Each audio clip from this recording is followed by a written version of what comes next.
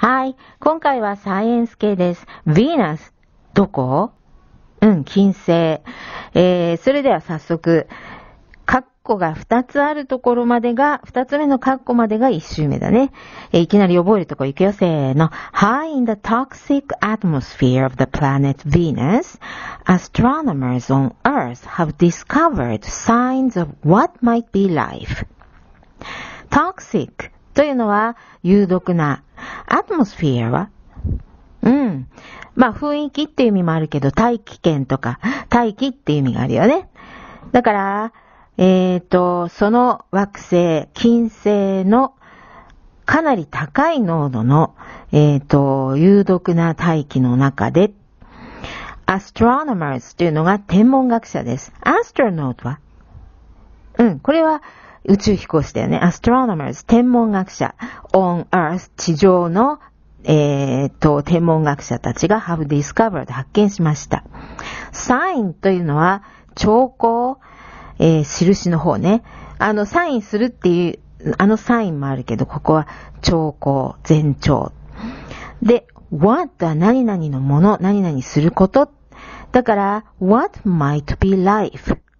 メイと同じでマイとは何々かもしれない。ということは、生物かもしれないものの兆候を発見したというのが直訳です。もう一回読んでおこう。せーの。High in the toxic atmosphere of the planet Venus, astronomers on Earth have discovered signs of what might be life. あと単語、confirm。これは確認する、確かめる。gaze。gaze は凝視する、じーっと見つめるっていう動詞もあるし、ここでは視線とか凝視っていう名詞になりますね。はい。named after。name を動詞にすると、うん、名付ける。で、ここは過去分詞 named 名付けられる。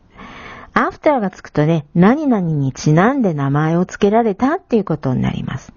だからその前後だけ言っちゃうと、Venus, named after the Roman goddess of beauty. どういうこと ?Venus。そうだよね。ローマの、ローマ時代の、あの、ローマの神話ね。そこに出てくる美の女神にちなんで名付けられたヴィーナスとはっていうこと。それから、次の文章を覚えるの feel で始まるんですが、その前に一個だけ acid。わかりにくいけど単語に線が引いてあります。これは酸。酸性の酸です。えー、で、文章、もう一個、せーの。Few have focused on the rocky planet as a habitat for something living. Few っていうことは、いるのいないの？ほとんどないっていうことだよね。ここは、まあ、people のことです。ほとんどこんなことをする人はいなかったっていうこと。で、フォーカスオンはやってる。何々に集中する、何々に焦点を当てる。Rocky Planet は、まあ、岩だらけの惑星だよね。で、as はこの場合は、そう、何々として、ハビタット、どっかでやってるね。そう、生息圏とか、えー、っと、要するに住んでいる場所ね。で、何か生きているものの生息圏として、その岩だらけの惑星に焦点を当てたサイエンティストはほとんどいなかったぐらいの意味でしょうか。もう一回読みます。せーの。Few have focused on the rocky planet as a habitat for something living. はい、ではテストします。一周目。えっ、ー、と、惑あ、金星という惑星の有毒な大気、有毒性がすごい高い大気の中で、ここまで。あき、ごめんね、日本語が下手で、せーの。High in the toxic atmosphere of the planet Venus 地上の天文学者たちは、生命であるかもしれないものの兆候を発見しました。うん。これね、ある過去の一点から、あ、そうかもって言い出されて、今もまだガヤガヤやってるから、現在完了形を使っています。えー、astronomers on Earth have discovered signs of what might be life. つなげてせーの。High in the toxic atmosphere of the planet Venus, astronomers on Earth have discovered signs of what might be life. はい、確認する。confirm。行使とかじーっと見つめること。はい、gaze。何々にちなんで名付けられた named after。はい、酸。はい、acid。ちなみに線引いてないけどさ、brightest object とか言って、オブジェクトって何かわかる？ここは複数形だけど。うん、物体だよね。えー、一応読んどいてね、一周目、ここまではね。はい、では二周目。ずっと下に下って鍵括弧二つの文章を覚えてもらいます。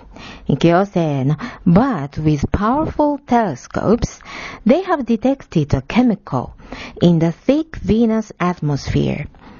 あの、 phosphine っていうのはリン、リ化水素っていうのかな？リン系だよね。 phosphorus がリンだから。これは覚えなくていいです。で、ここまでの意味。強力な telescope は？うん、天体望遠鏡を使って彼らは detect が、そう、 detective stories の detective だから、そう、探知するだよね。化学物質を探知しました。で、まあ、熱い、あの、濃度の濃い金星の大気の中にある化学物質を探知しました。もう一回読むよ、せーの。But with powerful telescopes, they have detected a chemical in the thick Venus atmosphere. で、後半も覚えるんだな、この文章。せーの。After much analysis, the scientists assert that something now alive is the only explanation for the chemical source. 時々ワクワクするよね、こういうの読むと。アナリシスはアナライズの名詞だから、うん、分析。だから、十分に分析をした結果、その後でサイエンティストたちは、assert というのは推測するとか主張するという意味です。で、こんな風に推測している。something now alive 今現在も生きている何かが is the only explanation それ、それ、もうそれのみただ一つ、え、説明になっているよと、説明できるよ。For the chemical source は、うん、源。だからその thick atmosphere で見つかったある化学物質、その源としては、今現在生きているものがいないと、その存在はありえないと、そのケミカルは。ねえ、何か生きてるのかねじゃあもう一回せーの。After much analysis, the scientists assert that something now alive is the only explanation for the chemical source. あと単語。えー、そのすぐ下、hypothesis。hypothesis というのは仮説。まだ証拠が十分に提示されていない仮説。ね。